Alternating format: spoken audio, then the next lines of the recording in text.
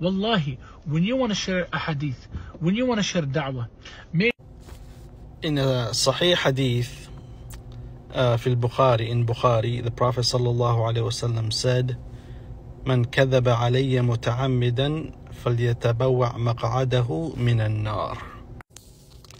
We can say whatever we want. Everybody's got a cell phone. Everybody has a TikTok account, and everybody tries to be a scholar, giving fatwas and uh, translating, giving siras and translating Quran and talking about different hadith. We can do all that.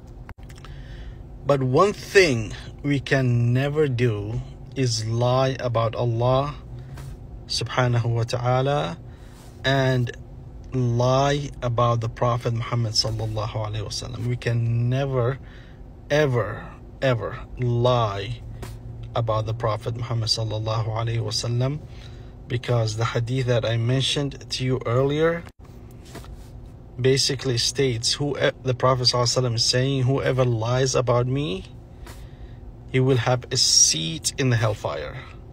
A seat or a spot or a place will be saved for him in the hellfire in other words whoever lies about the prophet muhammad sallallahu alaihi wasallam on purpose knowing that it is a lie he's going to go to the hellfire. And coming up with uh, fabricated hadiths or uh, fabricated quotes from the prophet sallallahu alaihi wasallam that is not true on purpose.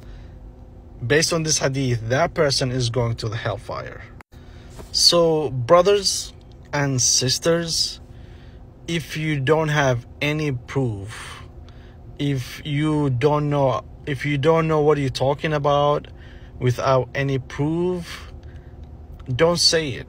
Don't say it because the worst thing you can do for yourself and for others is to spread lies and wrong information and other people who are ignorant they will listen to you and they will take the information from you and they will implement it and practice it.